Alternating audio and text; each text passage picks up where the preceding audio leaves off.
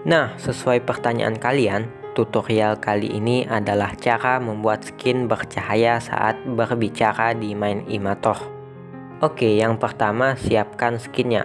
Sebagai contoh, kali ini gua pakai skinnya berlian beku. Nah, skinnya ini kalian pisah bagian yang bercahaya dan yang enggak. Kalau udah, langsung saja ke main Imator. Di main Imator, kalian tambahkan Steve. Nah, kalian buat dulu animasinya pakai Steve ini. Terserah kalian lah ya gerakannya kayak gimana. Sebagai contoh, ini gua gerakin kayak gini.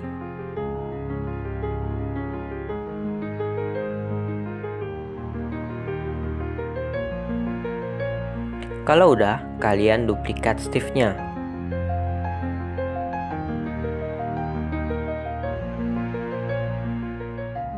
Lalu sebagai penanda, gua kasih nama Steve-nya dengan S1 dan S2. Kemudian S2-nya dimasukkan ke dalam folder dengan cara klik ini. Klik S2-nya lagi, lalu ke sini centang color. Nah setelah itu masukin dua skin yang tadi udah dipisah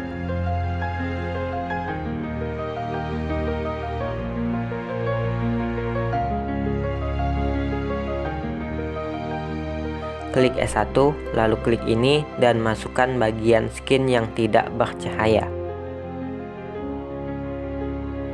Lalu S2 klik ini dan masukin bagian skin yang bercahaya Oke, kalau udah tambahkan audio track.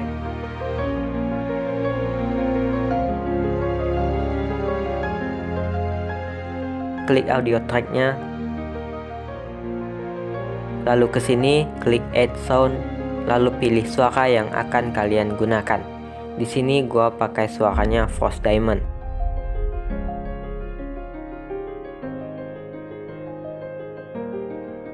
Kemudian di folder kalian buat dua titik.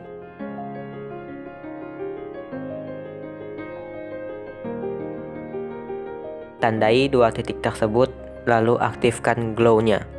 Lalu setelah itu glow color-nya kalian ubah menjadi hitam.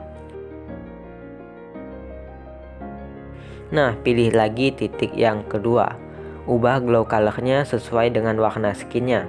Di sini skinnya Frost Diamond warnanya biru jadi warna glownya diatur menjadi biru brightnessnya ubah ke 100% lalu saatnya untuk menyesuaikan dengan suaranya di audio track ada bagian yang tebal ada bagian yang tipis. Nah kalian copy paste titik yang bercahaya tadi ke setiap bagian audio yang tebal. Ini gua copy paste di sini di sini dan di sini.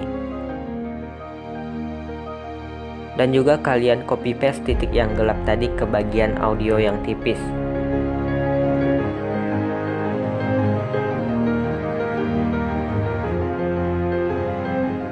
Tinggal dirapikan saja. Dan oke, okay, ini hasilnya.